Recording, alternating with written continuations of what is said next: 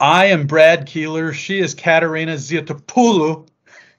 Find out on Director's Cut next what she's allergic to and why you don't want to be allergic to that.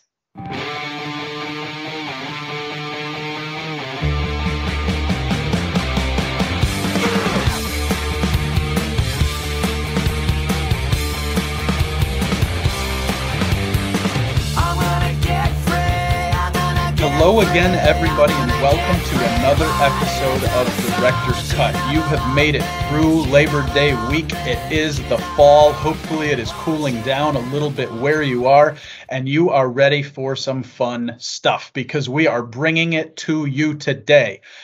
I'm Brad Keelor. I'm the director of the Geo Institute, and that is why we call this show Director's Cut every week. But this week, four times, every single day, we have sat down with a different GI member who tells you about themselves. Some of the things they will tell you are personal, some are professional, all of them are fun.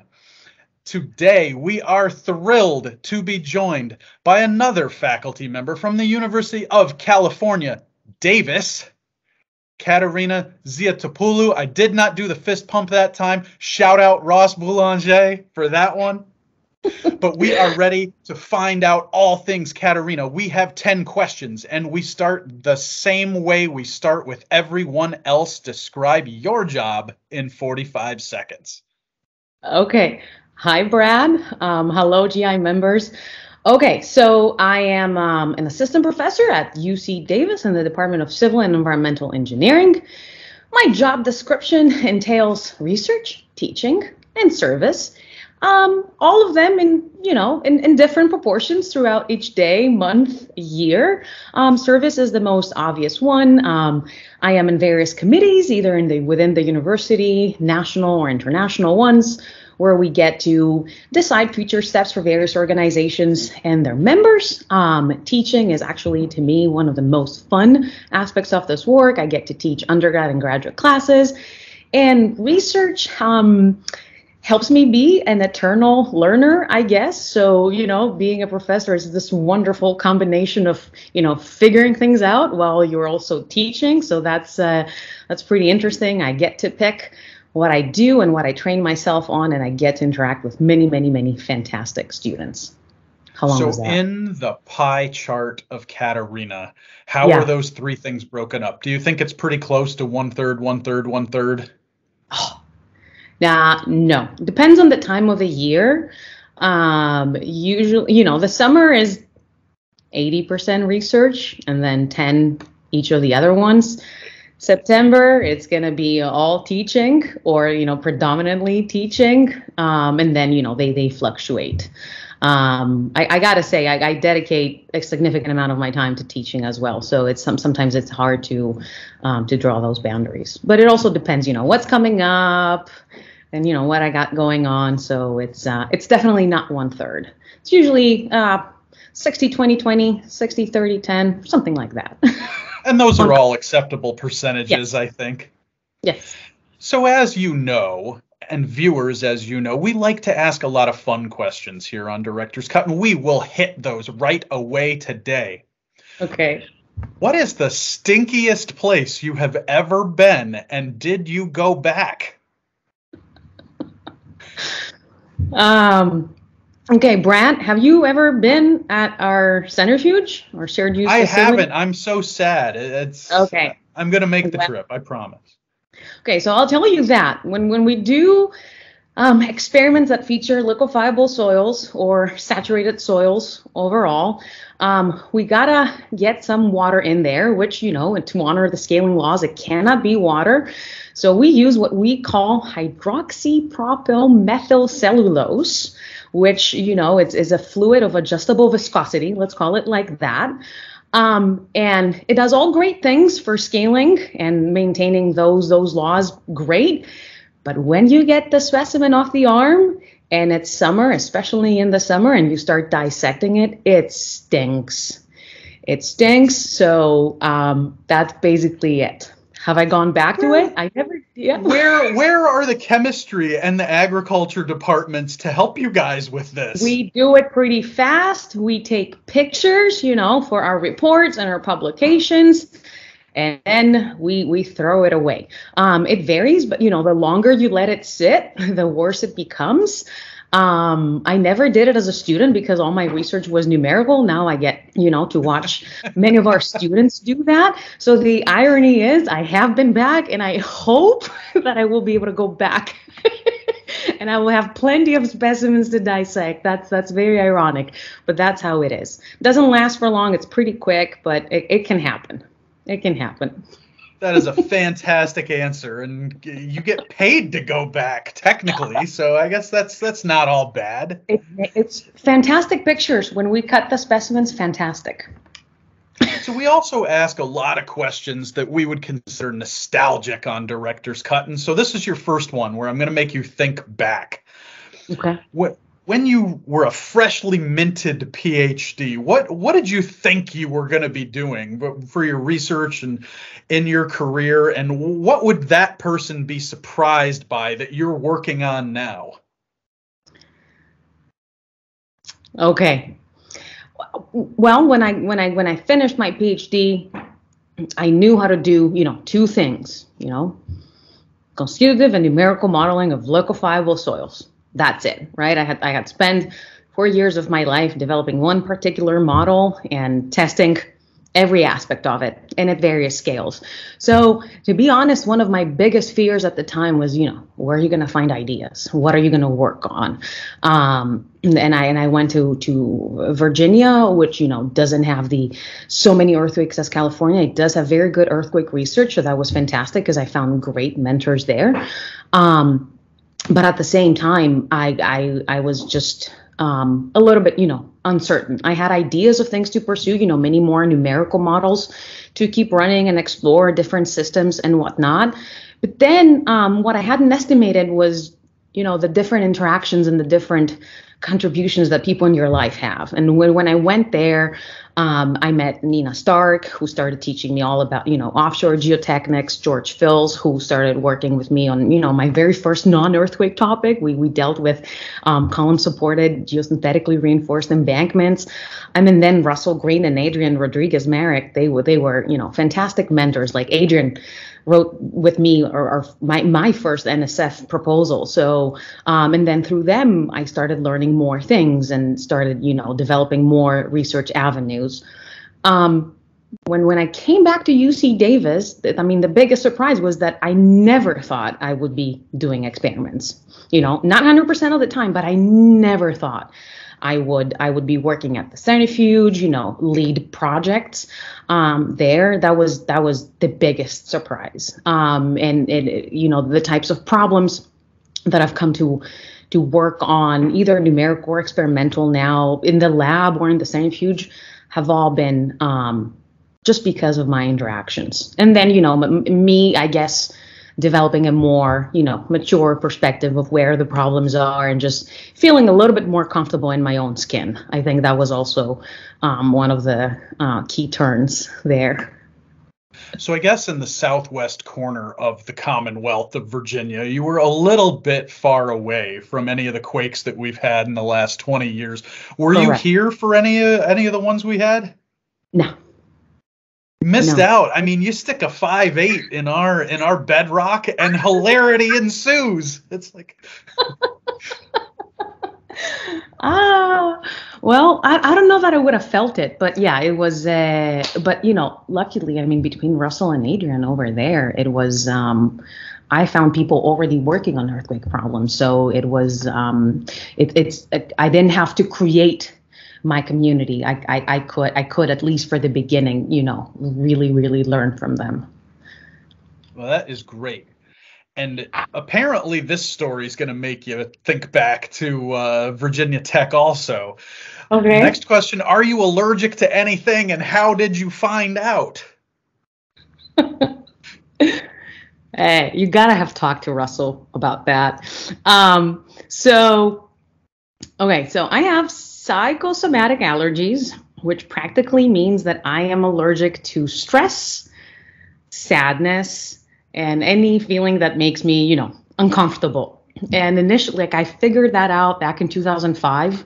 I went through a period where I had like, you know, rashes, I would swell up, like really weird stuff, and nobody could find what was going on. I tried, you know, food eliminations and changing all my detergents and everything, like nothing, nothing. Um, so I eventually went to a doctor and he said, just stop every antihistamine you take, like stop everything you're doing, just keep a journal. Um, of what's going on when you know the rashes and the swellings up you know come and go and um, I did that. And what we figured out was when I was going to sleep, I was waking up, you know, fully like red all over. And then he explained that this is probably, you know, that my subconscious is, you know, doing something. And you know, at the time I was an undergrad, so you only need like really your subconscious to to work for you to get stressed. Later on, I didn't need my my subconscious, you know, anxieties and various sources of stress becoming started becoming, you know, much more obvious. Um, and uh, and yeah, now occasionally, you know, if I, if I get super stressed about something or some like random thought or something that somebody might say, you know, that makes me do some correlation in my mind that makes me sad. Um, I either get like rashes or my my lips start swelling up and my eyelids. And uh, I mentioned Russell before because there there was one afternoon at Virginia Tech, he had walked into my office. I was stressed about something, I don't know, some deadline or whatever, and my lips were swollen up. And I knew it, I felt it, but I was like, I'm alone in my office. Who's to care? And Russell comes in. He wanted to, I don't know, talk about something. He looks at me and he goes like, "Did you get Botox?" And I was like, oh, "No." so, I would bet you have an interesting perspective on media attention about feelings, especially yeah. and things like that. Yeah. So I'm wondering if you saw Inside Out, the Disney movie, for example, and what your thinking was about that as somebody who has such a extreme reaction to emotions yeah. like that. Yeah. I so that that movie is amazing. I cry every time at the end. I can't help it. Um it just happens. Um you know, it, it has made me very aware. It has made me, you know, really isolate, you know, thoughts and, and feelings. I mean, it sounds absurd, but but like I really do that. And it's it's really easy to then find out what to isolate and how to control it. That's why I've never ever gone again through a period where I've been like, you know, dotted for like six months straight. So yeah, yeah, yeah, yeah. And I know when to shut down. I know it. I know. It, Which I so. think, I mean, you just stuff you have to learn, right? Because I think yeah. you mentioned being affected by it as an undergrad. That's like yeah. maybe one of the most stressful times in everybody's life, whether they realize it or not. And I, you know, I had it well, I guess you still have it, right? An anxiety disorder. And so during that time, it was like, it was brutal. There would be days when I would be like, well, I guess this is it. I'm just not going to do anything the rest of the day. And yeah. you kind of start to realize as you get older, you can't just shut down at 1 p.m. on random days and not do anything at all. Um, yeah. So it's it's kind of weird the way that like mental maturity plays into the process. It does. But that was a great answer, and I did not consult anyone before putting that question. oh, you you you hit the lottery right there with that. This just nothing but luck. We're going to talk one more nostalgic question for now. Yeah. At what point in your life did you realize you wanted to study earthquakes? Like, was there one event that made you want to do it, or was it something that just developed over time? Uh, okay. So I decided I wanted to study earthquakes the moment I decided I want to study civil engineering. Um, and my, my, reasoning behind that was, you know, fortunately or unfortunately, I don't know, but my dad is, is a structural engineer. So, you know, I was kind of like, I did kind of like grow up around, you know, the types of, you know, activities a structural engineer does on a daily basis. But, um, I wanted to be a doc, a real, a, a real doctor, not a, not a, not a, the doctor that I am today. So, um, because you know, I really appreciated the the functions of the human body, but I really appreciated the the source of service that that I felt a doctor um, performs. Because, um, like you know, with a structural engineer, you know, he was doing some designs, you know, you know, some site visits, but you know, it, it didn't seem like much of a like actual humanitarian service in my eyes. And then there was the um, the Athens earthquake of 1999, which you know I was um, 14 years old at the time, so you know I was old enough. And my dad took me with him when he was like inspecting houses, and I that's the first time that I, I could actually see um, interaction with people in a crisis situation. That you know what we do matters. That there there's that aspect as well. So um, being fascinated by by the math and the mechanics and the activities that I saw him doing, and then seeing that actually come on top of that, then I said, ah, no need to become a med doctor. I can be a civil engineer, but I gotta study earthquakes. so that's how it it uh, it came to be. Oh, that is great. And I feel like this has all been set up very well here because there you talked about your teen years a little bit. And now we're going to ask you the same question we ask everybody else. How did you get involved with ASCE and GI? Uh, eh, I don't even remember.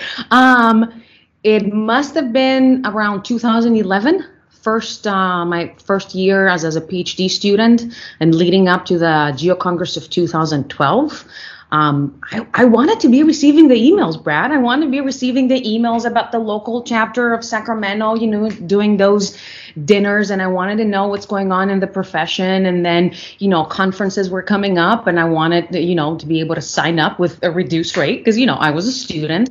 So I started doing that, and then, um, so that was when I signed up. And then Geo Congress, which we have the 10 year anniversary next year, state of the art in practice um, in Oakland. That was a was phenomenal conference. Um, and then, you know, one thing led to another. Um, mentored a little bit the Geo Wall team as a graduate student, helping out the undergrads. And then, as, as a young professional, um, I still remember um, it was in 2014 during the Atlanta Geo Congress. Um, Adrian Rodriguez from, from Virginia Tech, who I think at the time he was chairing the ESD committee, he saw Jack Montgomery and myself walking around the conference. It was like that time, that 7 p.m. time, like before the committees start getting together. And he says, you guys come with us. You, you join us. You see what we do in a committee. And, you know, Jack and I went in and we sat. Um, um, in, in two chairs and we were just like listening and that was the first time that i really got to see what the committees do what is happening behind the scenes um, all, all, all the various people that participate in them the roles and the types of work that they do from the speakers bureau outreach activities you know awards all all things like that. And then you know one thing like to another to another and now we we are doing the geo congress uh, next year which um, has been my first, I guess, you know, more formal and, and bigger role in, in GI. And I'm, I'm grateful for it. Yeah. And we are thrilled to have you. And what Katerina is saying is she is a member of the program committee for Geo Congress 2022, which is, of course, a state of the art, state of the practice conference on the 10 year anniversary of that seminal Oakland meeting. We will be in Charlotte. Registration is opening hopefully September 29th. So be on the lookout for that. We would love to have you all there with us. So we have a few more questions going to get fun. We're going to get serious. We're going to be in between. Come. It's another nostalgic one. What was your first cell phone and what do you remember about it? it was in 2002 just when I had graduated from high school. Things were happening a little later, later back in the day, um, and it was a Nokia 3310. A blue. Oh, you even remember the model number? What color? It was know, I, it was a blue one, and um, I used it for texting and playing Snake. Oh, I feel like the the epic early cell phone games, Snake. Uh, there was another one that I don't know if it made it outside of North America called Drug Wars, where you would buy and sell drugs. It was like a text based game, and you had to make money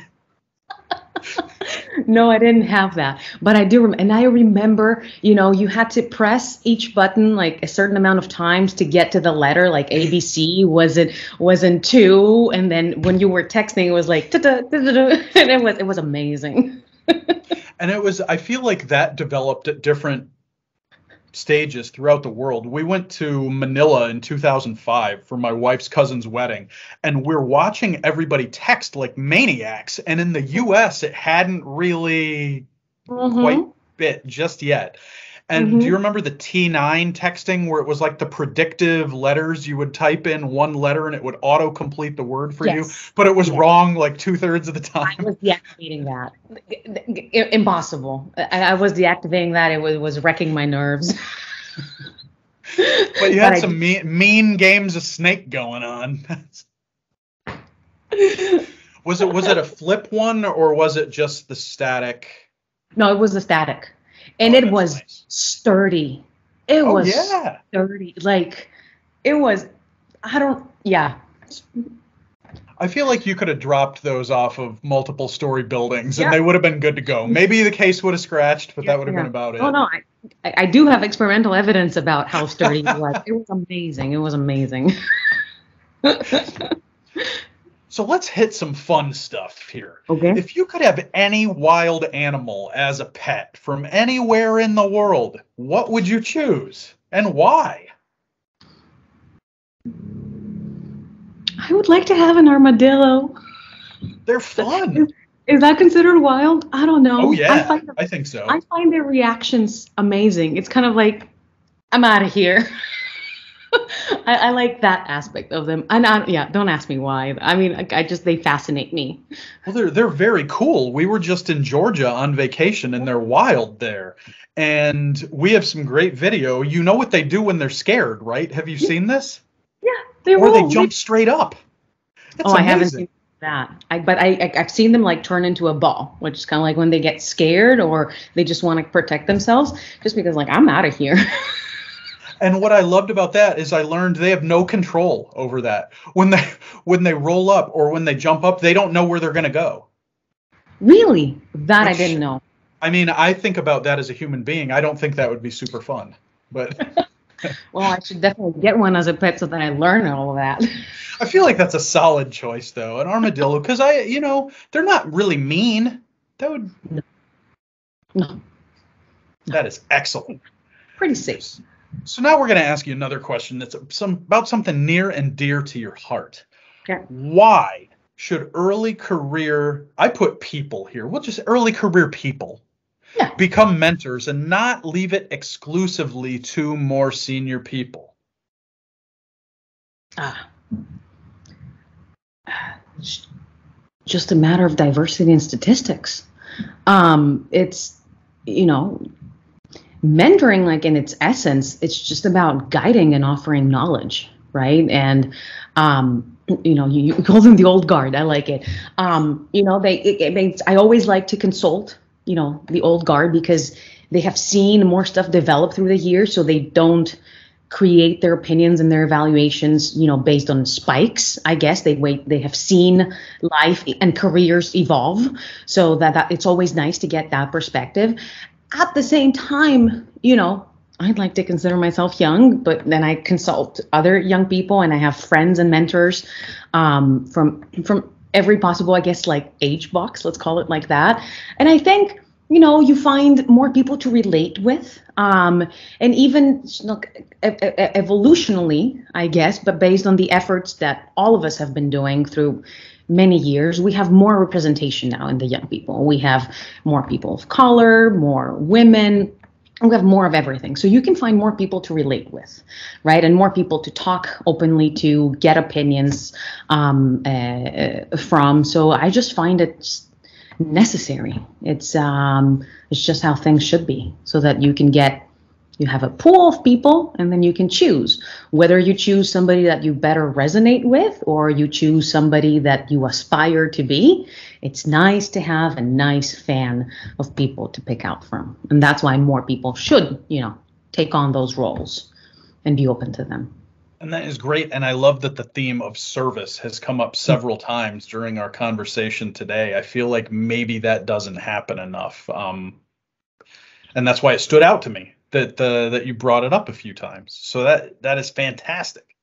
It does, and it does, and I mean, I I don't even know how many people I, I have talked to throughout my career, and how many people have helped me or like been there when I wanted to ask something, right? And it's it's impossible for one single person to to cover all the needs that one will have throughout their careers, right? So um, it's it's it's a, it's a great way of you know giving back as well. Well said. We are down to our final question, and it is the last one we are asking all of our guests this week. What is your best or your favorite summer vacation memory? And this can any time in your life. Okay, so I, I don't have a specific one. Like I cannot pick a specific one. They're all in Greece every single summer. I gotta say, I guess you know the the favorite memory is not so much as, as a specific event or location. It's more like feelings, a feeling of calmness, feelings of being you know little with my parents with a standard schedule, go to a different beach every day, have lunch, siesta, then afternoon swim, then dinner, and then something to spend your night with, right? Um, and it, it, was it was just that that that feeling of you know the serene sea and just you know summer food. Um, it's it's just it's just a feeling. I don't I don't. I, I don't have a specific memory to be honest. It's just a feeling. And later on, you know, in, in my 20s and early 30s with with my friends, just you know that that feeling of freedom and um, the, the, the weather, the smells. I, yeah, yeah, you should come. we'll, we'll, and I we'll wonder, create some you, memories. You mentioned summer food in particular. I want to key yeah. in on that. And I think uh, yeah. to a degree we still have that. But I think about when I was a kid, we ate corn every day all summer long because that's yeah. that's there was a lot of corn around. And now I think we're sort of desensitized to things like that because you can go get whatever you want in the middle of January when it's disgusting outside and just do whatever. I mean, I, and so I wonder what younger people are going to attach to these memories now because I think everything that you described is so sensory. Yeah. And I think yeah. we can get to everything a little bit too easily now. Uh, exactly. And what I meant by summer food is just you know the, the quality of food when you eat it at the right time in the year is just you know different. Yeah. Like in the us i realized like i can find watermelon in april. I was like no watermelon is you know july to august. Grapes. We start eating grapes in august you know figs end of august you know? And you know, when it's the right time they are so delicious and just like so refreshing. It's uh, it's, it's you know it's things like that. And they haven't been on a truck for seven days from Chile. I think yeah, that's the sometimes my kids I think want you know they want what they want like every day 365 days a year and I'm like it's not time to get apricots now like they're not very good in, in October. Yeah, well, yeah. that was great. So for your bonus question, I think you do have to describe the scene behind you. Where where is this background from and what are we looking at? This is Monemvasia. It's in the Peloponnese. Um, it's essentially a castle. It's a former castle. You can't find any cars in it. You you can drive to its gate, but you cannot enter it. Um, the waters are cold and very refreshing. It's very scenic. Um, it faces the west, so you can enjoy a very nice sunset. Um, and my family has been spending the summer vacations over the last 10 years or so there, and it's it's grown to be very near and dear to me. And that was a nice little bit of uh, advertising there for yes. it too. I would imagine they will. Uh, some of our viewers will be googling that shortly if they can spell it to uh, to figure it out. That's great. Well, Katerina, you made it through all the questions today, and you did so in spectacular fashion. Thank you. I hope that all our viewers enjoyed this. If you did, and I'm sure you did because you're here at the end, click subscribe. You can click get notifications. We will let you know every last time that we post something to the YouTube channel, which is pretty frequently. So, Katerina, thanks again for being with us today. Thanks for your great answers. Thank you, Brad, for having me. It's always a pleasure. And one more plug everybody should come to the 2022 Geo Congress. You can meet Katerina in person and ask her about allergies or summer foods or earthquakes if you're in the Yes, definitely. Give it a shot. We'll put her in a booth. It'll be a dollar a try. Thanks again, and everybody out there, we will see you with a new episode of Director's Cut next week.